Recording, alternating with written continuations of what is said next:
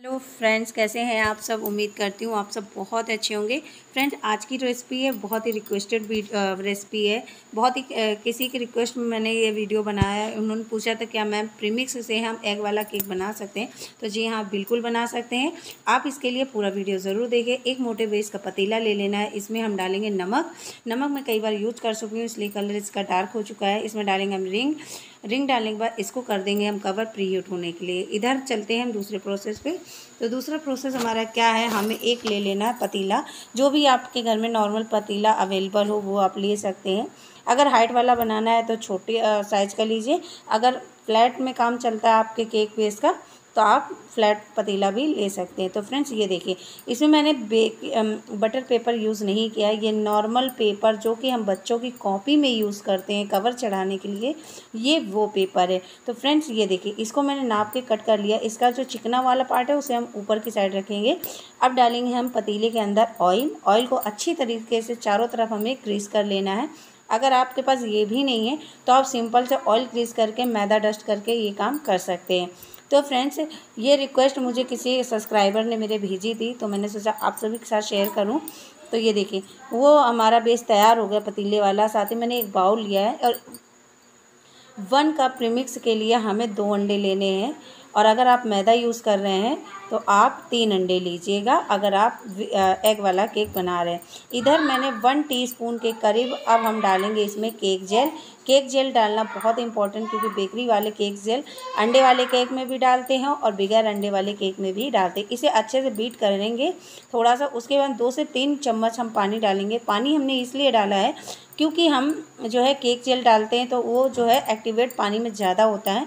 तो थोड़ा सा बीट करने के बाद में, अब मैंने 250 फिफ्टी के कप से मैं एक कप प्रीमिक्स लूँगी, ये वनीला प्रीमिक्स है फ्रेंड्स इसे हम डाल लेंगे और अच्छी तरीके से बीट करेंगे। और बीट हमें तब तक करना है, पहले तो हम मिक्स कर लेंगे ताकि इसमें कोई लम्स ना रह जाए। मिक्स करने के बाद हम इसे बीट करेंगे और तब तक बीट करना जब तक इसका कलर चेंज नहीं हो जाएगा।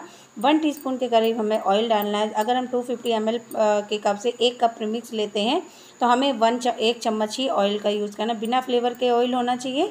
इसे अच्छे से बीट करना जब तक कि ये क्रीमी और इसका कलर चेंज ना हो जाए तो आप देख सकते हैं फ्रेंड्स ये देखिए हमारा बैटर कितना क्रीमी और कितना ज़्यादा फ्लवी और इसका कलर कितना ज़्यादा चेंज हो गया है। तो अब डालेंगे इस बैटर को हम हमारे मोल्ड पे जिसमें हमें बेक करना है। मैं वनीला एसेंस स्ट्रॉन्ग पसंद करती हूँ। आप नहीं भी डालेंगे तो चलेगा क्योंकि प्रीमिक्स जो है वो वनीला फ्लेवर का है। डाल देंगे तो बहुत अच्छा रिज़ल्ट और अच्छा आएगा। तो मैं भूल गई थी तो मैंने बाद में डाल के इसे मिक्स कर लिया है। थोड़ा सा टैप करेंगे और उसके बाद में प्री हीट होने के लिए हमने जो बर्तन रखा था उसमें इसे रख देंगे ताकि ये अच्छे से बेक हो सकें।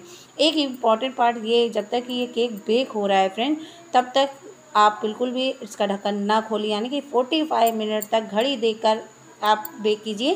फोर्टी फाइव मिनट के बाद ही आप इसका ढक्कन खोलिए। अगर बीच में आप ढक्कन खोल देंगे तो ये केक आपका बैठ जाएगा या आ, आ, हार्ड होगा मतलब बहुत अच्छे से नहीं राइस होगा। तो याद रखिएगा फोर्टी फाइव मिनट के बीच में बिल्कुल भी ढक्कन को नहीं खोल के देखना है।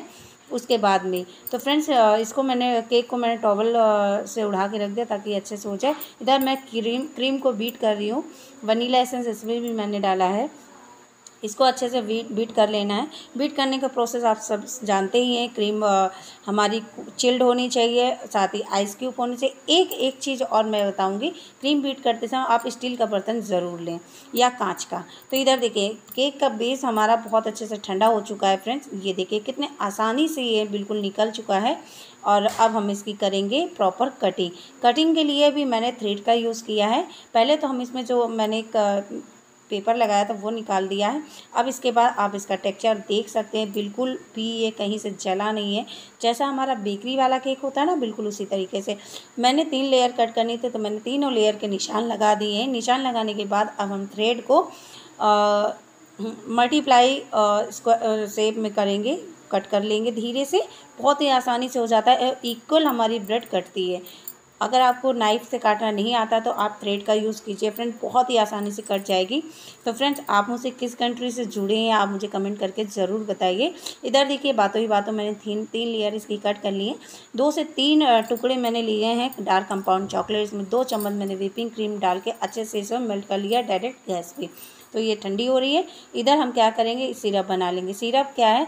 ये फ्रेंड्स मैं इसका सिरप जो है चाशनी मतलब बना के रखती हूँ कि अर्जेंट में इसमें ज़रूरत ज़्यादा झंझट ना हो। तो इसे मिक्स करना आसान होता है। इधर देखिए सिरप ये हमारा गनास भी रेडी हो चुका है, ठंडा हो चुका है। अब हम क्या करें? अगर आप चाहें तो इसमें टॉवल लगा लीजिए ताकि आपकी जो केक की प्लेट है या की बेस है, वो खिसके नहीं वरना आप ऐसे भी कर सकते हैं। एक आप इसमें फिल कर लीजिए। और इसके बाद में इसको अच्छे से, क्या करना है हमें पाइपिंग बैग को अच्छे से सेट करना है। सेट करने के बाद इसमें एक रबन बैंड लगा लीजिएगा। अगर आपको प्रॉब्लम होती है तो नहीं होती तो कोई प्रॉब्लम नहीं है, ऐसे भी आप कर सकते हैं। तो फ्रेंड्स, ये देखिए, थोड़ी सी क्रीम को नीचे लगाएँगे और जो बीच वाला पार्ट है हमारी ब्रेड का, वो हम रखेंगे सबसे नीचे। जले हुए जो सबसे नीचे का पार्ट होता है, वो हम रखेंगे सबसे ऊपर। और जो हमारा डोम शेप का पार्ट होता है, उसको रखेंगे हम बीच में। उससे क्या होता है कि हमारे केक को हाइट अच्छी खासी मिल जाती है।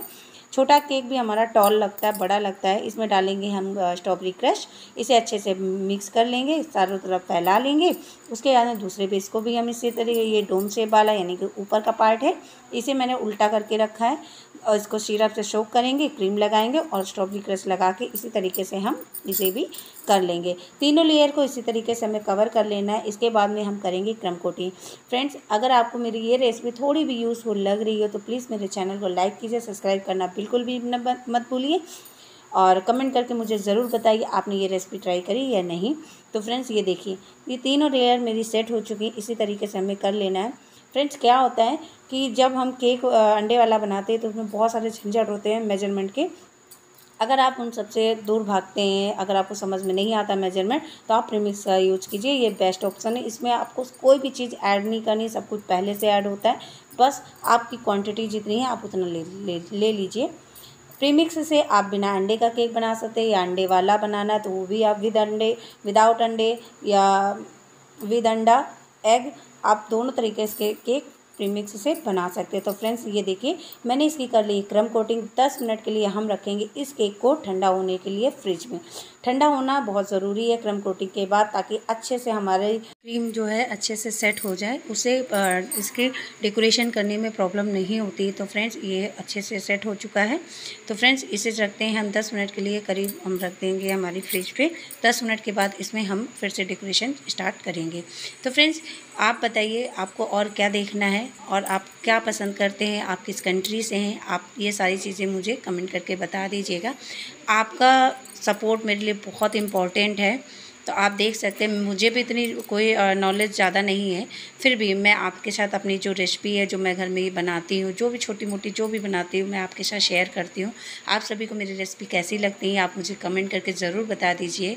तो फ्रेंड्स ये देखिए, इसी तरीके से हमें सारे केक को कवर करके, इसको 10 मिनट के बाद फ्रिज में रखने के बाद इसी तरीके से आप फिर से क्रीम लगा कर इसे सेट कर लेंगे।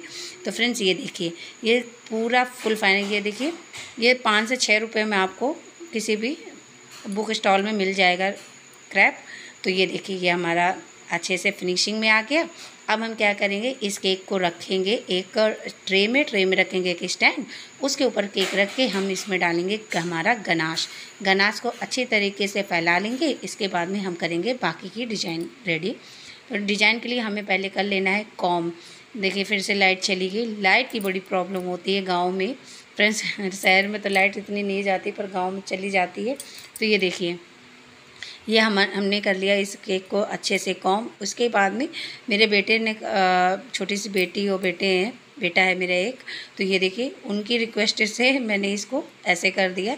इस डिज़ाइन का केक आप बेकरी में देखते हैं, बहुत आसानी से बन जाता है। नीचे का बॉर्डर हम स्टार नोजल से बना लेंगे और उसके बाद में इस केक को हम ऊपर से भी इसी स्टार नोजल से हम थोड़ा सा कवर कर देंगे। फ्रेंड्स अगर आपकी रेसिपी अच्छी लगी हो तो प्लीज़ ज़रूर ट्राई कीजिएगा और मेरे चैनल को लाइक और सब्सक्राइब ज़रूर कर लीजिएगा। फ्रेंड्स ये रेसिपी कैसी लगी? Thank you so much